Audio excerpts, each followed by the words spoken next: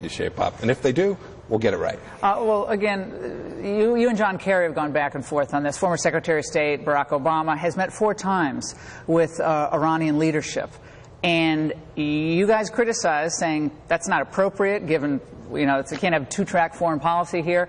But he responded by saying there's nothing unusual let alone unseemly or inappropriate, about former diplomats meeting with foreign counterparts. Secretary of State Kissinger done it for decades with Russia and China what is unseemly and unprecedented for the podium of the State Department to be hijacked for political theatrics? Secretary Kerry can't seem to get off the stage, and you have to. When I'm the former secretary, I'll get off. Uh, every previous former secretary has done that too. It's, it's one thing to meet with your counterpart, it's another thing to do what Secretary Kerry, Wendy Sherman, Ernest Moniz, frankly, the whole gang has done, which is to actively seek to undermine what President Trump is trying to achieve.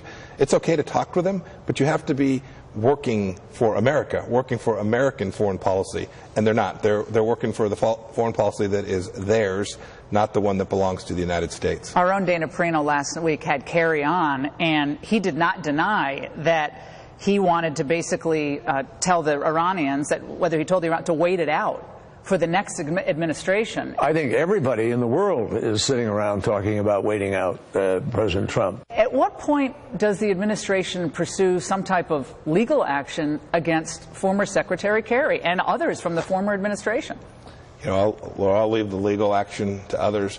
Uh, I'm trying to execute America's foreign policy, and they are not only unhelpful, but they are acting in ways that are harmful to achieving what's best for the American people. And that's, that's my criticism. Uh, stop it. Let it go. Uh, you had your day.